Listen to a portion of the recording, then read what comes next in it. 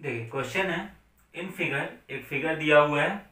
P Q is a tangent at point R of the circle with centre O P Q जो है tangent कह रहे हैं? At point R on the given circle if angle T R Q equal to thirty degree T R Q ये जो angle है, ये thirty degree दिया हुआ है।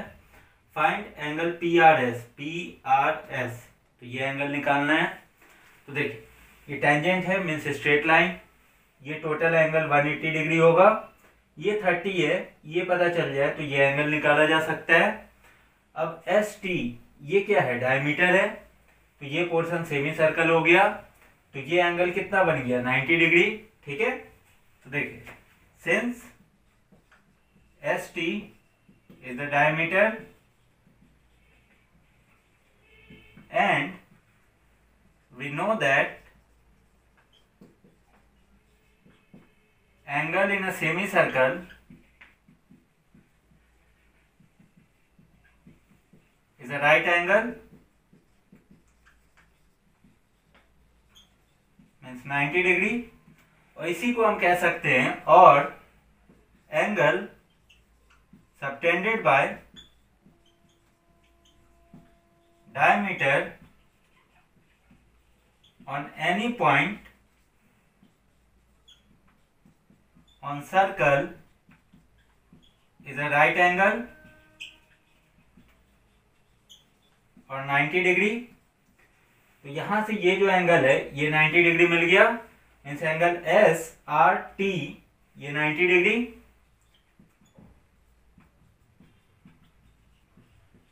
और ये जो एंगल है एंगल टी आर क्यू ये 30 डिग्री दिया हुआ है। And angle T R Q equal to thirty degree ये गिवन है तो since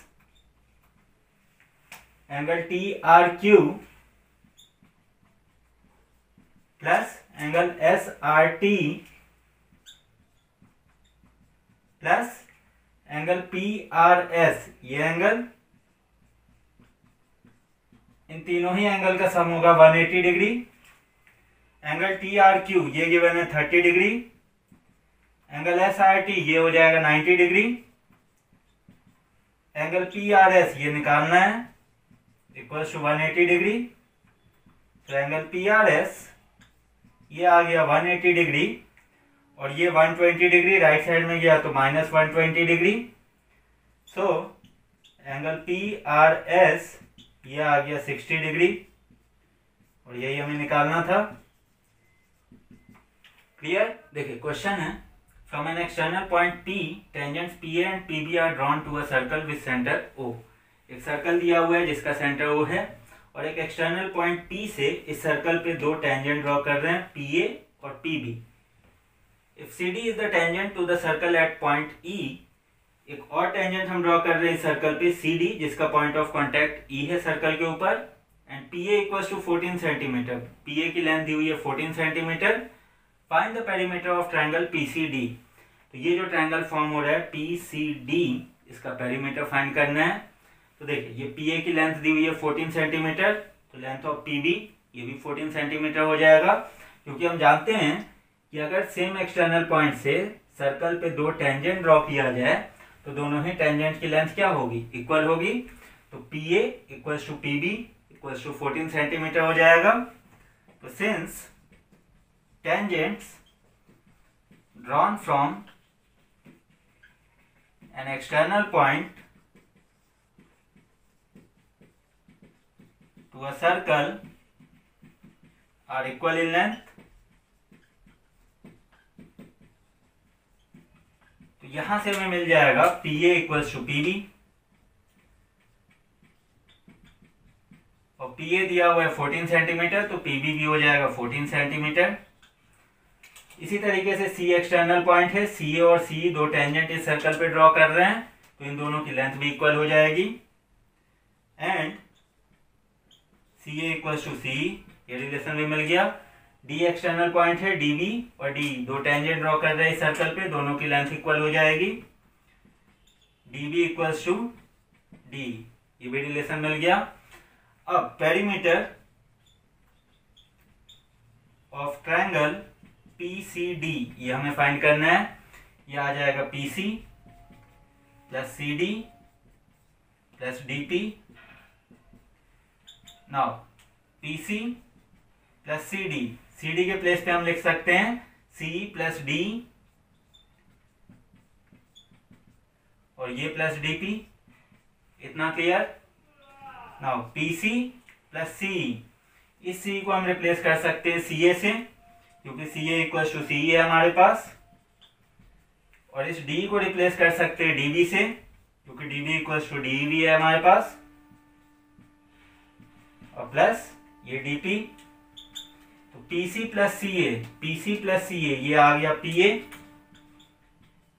DB plus DP तो डीबी प्लस डीपी ये आ गया PB PA equal to PB है और पीए की लेंथ है 14 सेंटीमीटर पीबी भी मिल जाएगा फोर्टीन ये आ गया twenty eight centimetre perimeter of triangle PCD यही हमें निकालना था।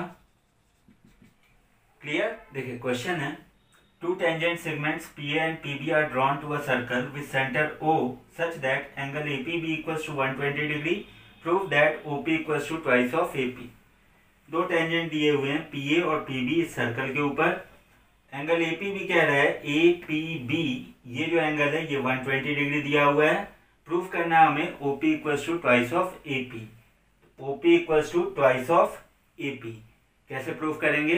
तो देखिए, सबसे पहले हमारे पास यहाँ दो ट्रायंगल मिल रहे हैं, एक पी ए ओ और दूसरा ट्रायंगल पी बी ओ इतना क्लियर तो in triangle P A O and triangle P B O देखिए ओ ए और O B radius of the same circle है तो दोनों की लेंथ क्या होगी? इक्वल होगी।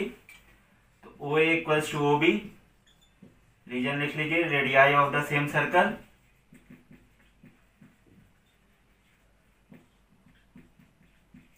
P exterior point है और इस एक्सटीरियर पॉइंट से दो टेंजेंट हम इस सर्कल पे ड्रॉ कर रहे हैं तो दोनों ही टेंजेंट की लेंथ क्या होगी? इक्वल होगी। तो यहाँ से हम कह सकते हैं P A equal to PB भी हो जाएगा। रीजन लिख लीजिए tangents drawn from an exterior point to a circle are equal in length इतना क्लियर और ये जो ओपी है, ये दोनों ही ट्रायंगल में कॉमन है। And OP equals to OP common है दोनों ट्रायंगल में। तो यहाँ से हम कह सकते हैं कि भाई S S S congruency rule, ये दोनों ट्रायंगल क्या हो गए? कॉन्ग्रेंट हो गए। सो ट्रायंगल पी ए ओ ये कॉन्ग्रेंट हो गया किसके? ट्रायंगल पी बी ओ के। इतना clear by S S S rule. Now ये दोनों ट्रायंगल कॉन्ग्रेंट प्रूफ हो गया। तो हम यहाँ से कह सकते हैं, ये एंगल इक्वल टू ये एंगल होगा। Means angle A P O equal to angle B P O हो जाएगा। So angle A P O equal to angle B P O by C P C T इतना clear और ये जो ए P B angle है, ये दिया हुआ है 120 degree and angle A P B equal to 120 degree ये गिवन है। तो यहाँ से हम कह सकते हैं एपीबी को angle A P O plus angle B P O इन दोनों ही एंगल का सम ये एंगल ए पी बी के इक्वल होगा। मीन्स 120 डिग्री और ये दोनों ही क्या है? इक्वल है। तो इनको हम लिख सकते हैं। Twice of angle A P O equal to one twenty degree तो यहाँ से एंगल ए पी ओ ये मिल गया 120 degree upon two mean 60 degree तो ये जो इतना एंगल है, ये आ गया 60 डिग्री इतना क्लियर अब हमें प्रूफ करना है OP equal to twice of AP तो देखिए ओपी ये है और एपी ये है। और ये सेंटर से हम रेडियस ड्रॉ कर रहे हैं स्टेंजेंट के पॉइंट ऑफ़ कांटेक्ट पे। तो radius are always perpendicular to the tangent at the point of contact तो ये 90 डिग्री हो जाएगा। तो ये हो गया परपेंडिकुलर ये बेस और ये हाइपोटेनस और इन दोनों में हमें रिलेशन निकालना है। मीन्स एच और बी में तो कॉस यूज़ कर लीजिए। तो इन ट्राइंगल ए पी ओ यहाँ पे हम यूज़ कर सकते हैं कॉस तो कॉस सिक्सटी ये हो जाएगा B upon H base upon hypotenuse तो ये हो गया एपी अपॉन ओपी और कॉस सिक्सटी होता है one upon two equals to AP upon OP ये इधर आ गया तो वन इंटू ओपी और ये टू इधर आ गया तो ट्वाइस ऑफ़ एपी तो OP equals to twice of AP यही हमें प्रूफ करना था। क्लियर देखिए क्वेश्चन है। Triangle ABC is isosceles with A B equals to AC and circle having centre O and radius R is the in circle of the triangle ABC touching BC at L prove that L bisects BC एक ट्रायंगल दिया हुआ है ABC इतना clear और isosceles triangle है means A B और A C ये दो साइड्स इक्वल है। और इस ट्रायंगल के अंदर एक सर्कल है जिसका सेंटर ओ और रेडियस आर दिया हुआ है। और ये जो सर्कल है, ये बीसी साइड्स को एल पॉइंट पे टच कर रहा है। इतना क्लियर तो हमें ये प्रूफ करना है कि ये जो एल पॉइंट है, ये बीसी साइड्स को बाइसेक्ट करेगा। मीन्स ये लेंथ और ये लेंथ इक्वल होगा, तभी हम कह सकते हैं एल बाइसेक्ट्स बीसी तो टू प्रूफ यहाँ हमें प्रूफ करना है कि ये दोनों लेंथ इक्वल होगा। तो B L equal to C L हम कह सकते हैं। ये हमें प्रूफ करना है। ना ट्रायंगल के ये दो साइड्स इक्वल दिए हुए हैं। A B equal to A C ये गिवन है। और इस ए बी को हम रिप्लेस कर सकते हैं A M plus B M से। A M plus B M से। और इस ए सी को रिप्लेस कर सकते हैं A N plus C N से। इतना क्लियर ना ए यहाँ पे एक्सटीरियर पॉइंट है और इस एक्सटीरियर पॉइंट से इस सर्कल पे दो टेंजेंट हम ड्रॉ कर रहे हैं। ए एम और ए एन तो इनकी लेंथ भी इक्वल होगी। Since A M equal to A N बन जाएगा रीजन लिख लीजिए। Tangents drawn from an exterior point to a circle are equal in length कितना क्लियर तो यहाँ है A M plus B M equal to A N plus C N तो यहाँ A M equal to A N है हमारे पास तो इस ए एन को हम रिप्लेस कर सकते हैं एम से। सो so, ये मिल जाएगा A M plus B M equals to इस ए एन को रिप्लेस कर दीजिए ए एम से और plus C N A M M cancel यहाँ से एक रिलेशन मिल गया B M equals to C N इसको मान लेते हैं इक्वेशन वन ना बी एक्सटीरियर पॉइंट है और इस एक्सटीरियर पॉइंट से इस सर्कल पे दो टेंजेंट ड्रॉ कर रहे हैं। बी एल और बी एल तो इनकी लेंथ इक्वल होगी। B L equals to bn and C exterior point है और इस एक्सटीरियर पॉइंट से दो टेंजेंट ड्रॉ कर रहे हैं सर्कल पे सी एन और सी एल तो इनकी लेंथ भी इक्वल होगी। तो C L equals to C N ये दो रिलेशन और हो गया। Reason tangents drawn from an exterior point to a circle are equal in length now हमें प्रूफ करना है B L equals to C L तो B L equals to B M है और C L equals to C N है और B M equals to C N है। तो बी एम को हम रिप्लेस कर सकते हैं बी एल से। क्योंकि B M equals to B L है तो इस बी एम के प्लेस पे लिख दीजिए बी एल और यहाँ सी एन है तो सी एन को रिप्लेस कर सकते हैं हम सी एल से। तो इस सी एन के प्लेस पे लिख दीजिए सी एल तो B L equals to C L यही हमें प्रूफ करना था। तो हम कह सकते हैं कि L बाइसेक्स BC, ये प्रूव हो गया। क्लियर देखिए क्वेश्चन है इन फिगर एक फिगर दिया हुआ है A circle touches all the four sides of a quadrilateral ABCD with AB equals to 6 cm, BC equals to 7 cm and CD equals to 4 cm. Find AD. एक quadrilateral है A B C D और एक circle दिया हुआ है और ये जो सर्कल है क्वाड्रिलेटरल के हर एक साइड को किसी न किसी पॉइंट पे टच कर रहा है ए बी साइड को टच कर रहा है पी पॉइंट पे बी सी साइड को टच कर रहा है क्यू पॉइंट पे सी डी साइड को टच कर रहा है आर पॉइंट पे और डी ए साइड को टच कर रहा है एस पॉइंट पे। ए बी की लेंथ दी हुई है सिक्स सेंटीमीटर, बी सी की लेंथ दी हुई है सेवन सेंटीमीटर, सी डी की लेंथ दी हुई है फोर सेंटीमीटर। तो हमें ए डी की लेंथ फाइंड करनी है। तो देखिए, हम जानते हैं कि जब सर्कल जो है क्वाड्रिलेटरल के हर एक साइड को टच करेगा मीन्स कि क्वाड्रिलेटरल के जो अपोजिट साइड्स का जो सम है, वो क्या होगा? इक्वल होगा। तो देखिए we know that when circle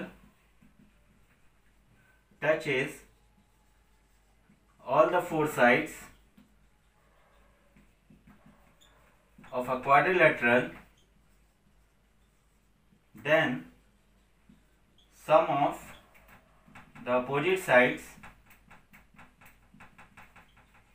must be equal of any quadrilateral इतना क्लियर तो हम यहाँ से कह सकते हैं, ये दोनों अपोजिट साइड है तो इनका सम तो means A B plus C D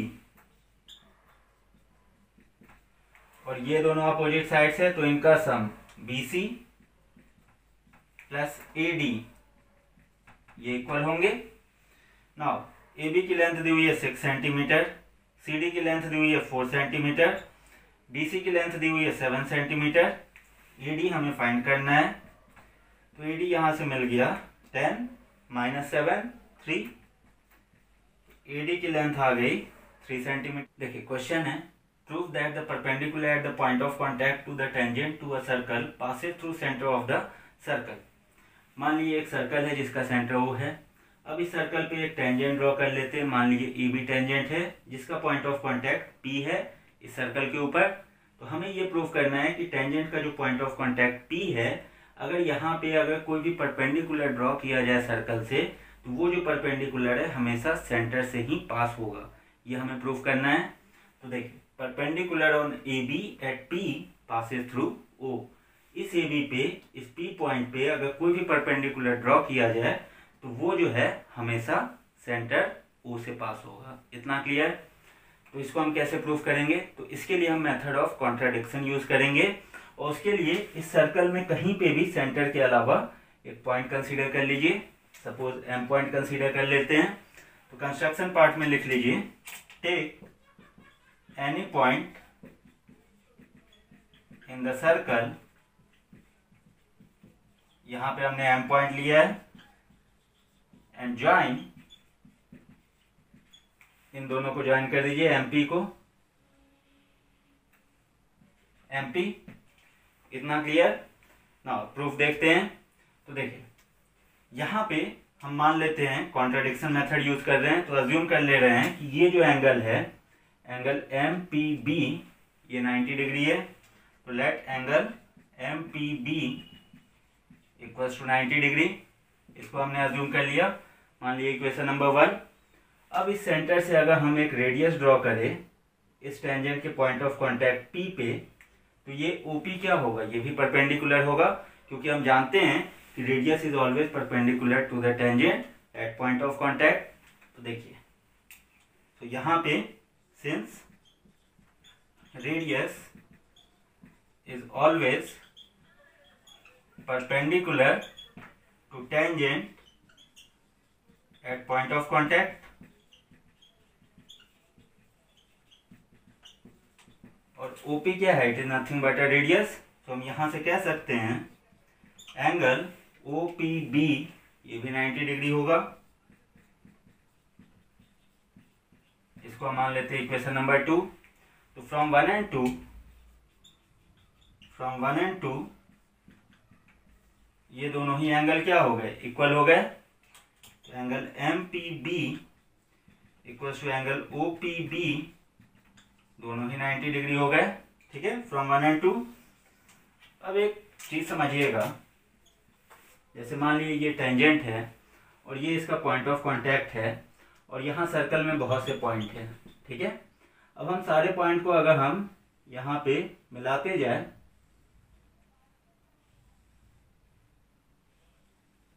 तो यहाँ पे एक ही जो है, मान लीजिए ये अगर ओ है और ये मान लीजिए पी है तो ये जो अगर ओपी है तो एक ही परपेंडिकुलर बनेगा। अगर हम इन पॉइंट को और पी को मिलाए तो ये लेस देन 90 डिग्री होगा। और अगर इस साइड के पॉइंट को अगर हम मिलाए पी से तो मोर देन 90 डिग्री होगा। तो सिर्फ़ एक ही लाइन यहाँ पे परपेंडिकुलर कहलाएगा इस पी पॉइंट पे। ये लॉजिक क्लियर हुआ। ना दूसरा पॉसिबिलिटीज कब है? कि मान लीजिए एक और लाइन है, जो ओपी के ऊपर ही कोइंसाइड कर रहे हैं। तो ये दोनों लाइन 90 डिग्री होगा ठीक है? इस टेंजेंट पे तो देखिए तो यहाँ पे angle M P B equal to angle O B और दोनों हमने डिफरेंट पॉइंट माना है तो ये पॉसिबल नहीं है। तो बाय मेथड ऑफ़ कॉन्ट्राडिक्शन ये जो एजम्पन है ये हमारा फेल हो गया। सो so, यहाँ पे एक ही 90 डिग्री बन रहा है that is angle O B क्यों बन रहा है? क्योंकि ये रेडियस है which is always perpendicular to the tangent at point of contact तो हम कह सकते हैं our assumption is false because ये चीज़ कब पॉसिबल है? It is only possible when ये जो ओपी और एमपी है, ये कोइंसाइड करे। OP and MP are coincides. तभी ये पॉसिबल है कि ये जो एंगल एम बी है, ये 90 डिग्री होगा। तो एंगल एम बी जो हमने 90 डिग्री एज्यूम किया था, ये हो गया फॉल्स तो हम by the method of contradiction हम कह सकते हैं perpendicular on A B at P passes through O अगर इस पी पे, अगर एक परपेंडिकुलर हम ड्रॉ करें सर्कल से तो हमेशा सेंटर से ही पास होगा।